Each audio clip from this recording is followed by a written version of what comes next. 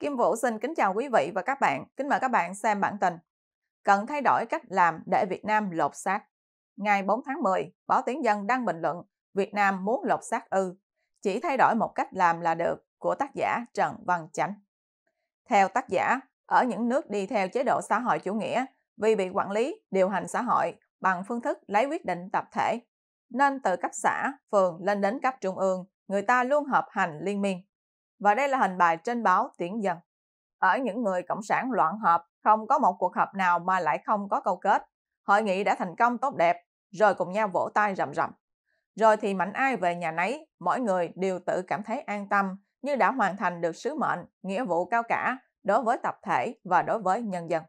Tác giả cho hay, thật ra ở bất kỳ quốc gia văn minh nào, việc lãnh đạo, điều hành đất nước đều mang tính tập thể qua việc tổ chức các nghị viện hay các cuộc họp của triều đình phong kiến.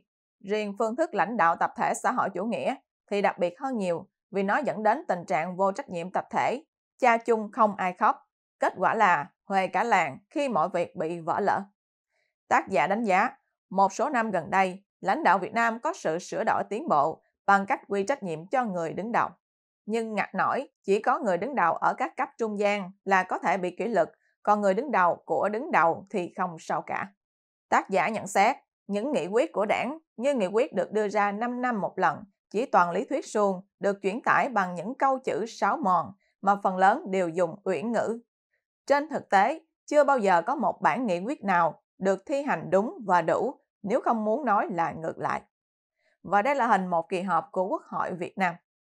Tác giả nhận định, Trung Quốc và Việt Nam không còn đặc điểm nào gọi là chủ nghĩa xã hội nữa cả, mà đã đi theo chủ nghĩa tư bản từ lâu rồi nhưng lại là một thứ chủ nghĩa tư bản thân hữu và chủ nghĩa tư bản cuồng nhiệt, gây nên tình trạng tham nhũng và bất công xã hội kéo dài, gần giống chủ nghĩa tư bản mang rợ ở thế kỷ 19.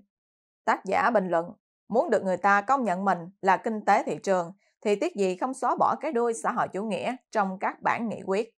Tuy nhiên, vẫn theo tác giả, chúng ta không thể đòi hỏi những người cộng sản từ bỏ ngay những điều họ không thể từ bỏ được. Thời gian gần đây, chính trường Việt Nam đang có sự biến đổi độc đáo chưa từng thấy trong lịch sử với sự đi lên của một viên tướng xuất thân từ công an. Các hoạt động của ông được đánh giá là có nhiều triển vọng theo hướng cởi mở, thực tế, ít giáo điều hơn so với người tiền nhiệm vừa qua đời.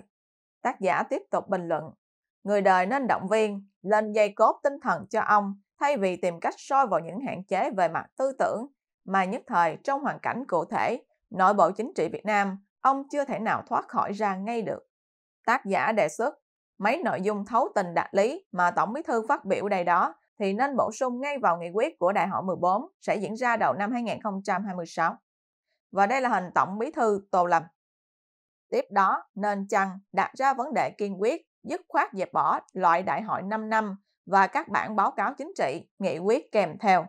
Việc hợp hành nên tập trung cho từng chủ đề cụ thể để giải quyết những vấn đề thực tế phát sinh trong từng lúc, từng giai đoạn đặc thù, chứ không lấy nghị quyết 5 năm làm tiêu chí chung bàn luận giải quyết vấn đề. Về bổ nhiệm nhân sự, tác giả đề nghị nên lấy từ những cán bộ địa phương đề bạt lên, chọn trong số những người có thành tích tốt, được tập thể và nhân dân kỳ vọng. Quan trọng nhất, tác giả cho rằng phải coi hiến pháp đúng với bản chất, vai trò, chức năng của nó là bộ lực khung căn bản cao nhất chi phối toàn bộ hoạt động của quốc gia mà tất cả mọi thành viên không phân biệt địa vị, chức tước trong xã hội đều phải nghiêm túc chấp hành.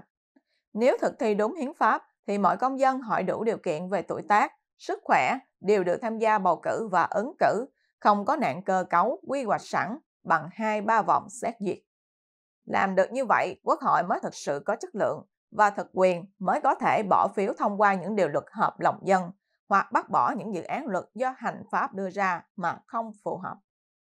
Quý vị và các bạn đang xem chương trình trực tiếp của Kim Vũ với bản tin Cần thay đổi cách làm để Việt Nam lột xác. Xin mời quý vị và các bạn chia sẻ video này cho nhiều người biết và bấm nút theo dõi trên YouTube và Facebook của Thời báo chấm Đề để luôn được cập nhật bản tin mới nhất, nhanh nhất và trung thực nhất. Kim Vũ xin kính chào các bạn và hẹn gặp lại các bạn trong chương trình lần tới. Kim Vũ xin kính chào quý vị và các bạn. Kính mời các bạn xem bản tin. Việt Nam lên án cuộc tấn công ngư dân ở Hoàng Sa. Ngày 3 tháng 10, VOA Tiếng Việt cho hay Việt Nam phản đối hải cảnh Trung Quốc tấn công làm ngư dân bị thương. Theo đó, ngày 2 tháng 10, Bộ Ngoại giao Việt Nam đã lên tiếng phản đối hành vi thô bạo và gây thương tích của hải cảnh Trung Quốc đối với các ngư dân Việt Nam đang đánh bắt ở khu vực quần đảo Hoàng Sa trên Biển Đông, nơi mà cả Hà Nội lẫn Bắc Kinh đều tuyên bố chủ quyền. Và đây là hình bài trên VOA. VOA dẫn lời người phát ngôn Bộ Ngoại giao Việt Nam Phạm Thu Hằng được báo Tuổi Trẻ đăng tải nói rằng lực lượng thực thi pháp luật của Trung Quốc đã trấn áp, đánh bị thương, tịch thu tài sản của ngư dân Việt Nam trên tàu cá QNG 95739TS của tỉnh Quảng Ngãi khi con tàu này đang hoạt động tại khu vực quần đảo Hoàng Sa vào ngày 29 tháng 9. Việt Nam hết sức quan ngại, bất bình và kiên quyết phản đối các hành xử thô bạo của lực lượng thực thi pháp luật Trung Quốc đối với ngư dân và tàu cá Việt Nam. Bộ Ngoại giao Việt Nam đã giao thiệp nghiêm khắc với Đại sứ quán Trung Quốc tại Hà Nội, mạnh mẽ phản đối hành động nói trên của lực lượng thực thi pháp luật Trung Quốc, yêu cầu Trung Quốc tôn trọng đầy đủ chủ quyền của Việt Nam đối với quần đảo Hoàng Sa, khẩn trương điều tra và thông báo kết quả cho phía Việt Nam, không tái diễn các hành động tương tự, bà Hằng nói thêm. VOA trích dẫn tin từ một hãng tin quốc tế cho biết ngày 2 tháng 10, Bộ Ngoại giao Trung Quốc đã mô tả từ góc nhìn của họ rằng các tàu đánh cá Việt Nam đánh bắt trái phép ở vùng biển liên quan của quần đảo Hoàng Sa mà không có sự cho phép của Bắc Kinh. Do đó, chính quyền Trung Quốc đã áp dụng các biện pháp ngăn chặn. Và đây là hình người phát ngôn Bộ Ngoại giao Phạm Thu Hằng. Hãng tin quốc tế trên dẫn lời Bộ Ngoại giao Trung Quốc cho rằng các hoạt động tại chỗ rất chuyên nghiệp, có chừng mực và không có ghi nhận gì về thương tích. VOA dẫn nhận xét của nhà nghiên cứu Raymond Powell ở California tại Mỹ. về khẳng định các yêu sách hàng hải của Trung Quốc ngày càng trở nên bạo lực, các tàu chấp pháp của họ thực tế đã biến thành một lực lượng bán quân sự. Được phép sử dụng mọi phương tiện sẵn có để buộc các nước láng giềng phải phục tùng. Việc sẽ có người thiệt mạng, một trong những cuộc chạm trán như vậy dường như chỉ là vấn đề thời gian, ông Powell dự báo. VOA cũng dẫn nhận định của thạc sĩ, nhà nghiên cứu Hoàng Việt từ Sài Gòn cho rằng hai tàu hải cảnh của Trung Quốc 101 và 301 đã tấn công vô cớ ngư dân tàu cá của Việt Nam. Đây cho thấy rõ âm mưu độc chiếm Biển Đông của Trung Quốc. Có lẽ lần này Việt Nam lên tiếng khá nhanh so với những lần trước. Điều này cho thấy rằng mặc dù luôn đặt mối quan hệ với Trung Quốc lên hàng đầu, nhưng Việt Nam cũng đặt chủ quyền, toàn vẹn lãnh thổ lên quan trọng hơn. Ông Việt nhận xét.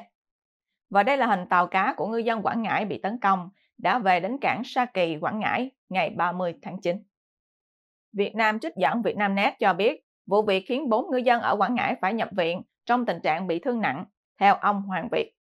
Mối quan hệ của Việt Nam với nhiều quốc gia khu vực và phương Tây, trong đó có Mỹ, đang tăng cường, thì đây có lẽ là điều mà Trung Quốc đang muốn nhắc nhở Việt Nam. Chưa kể là có những cuộc cạnh tranh quyết liệt giữa Trung Quốc và Mỹ cũng khiến Trung Quốc phải dằn mặt trước Việt Nam. VOA cho biết, việc tàu cá của ngư dân Việt Nam bị Trung Quốc tấn công xảy ra chỉ một tuần sau khi Tổng bí thư Chủ tịch nước Tô Lâm có cuộc gặp với Tổng thống Hoa Kỳ Joe Biden tại New York. Trong cuộc gặp này, ông Biden tái cam kết với nhà lãnh đạo Việt Nam về chính sách của Washington đối với một đại dương rộng mở, tự do hải hành, tuân thủ luật pháp quốc tế, ngụ ý nói đến tình hình ở Biển Đông.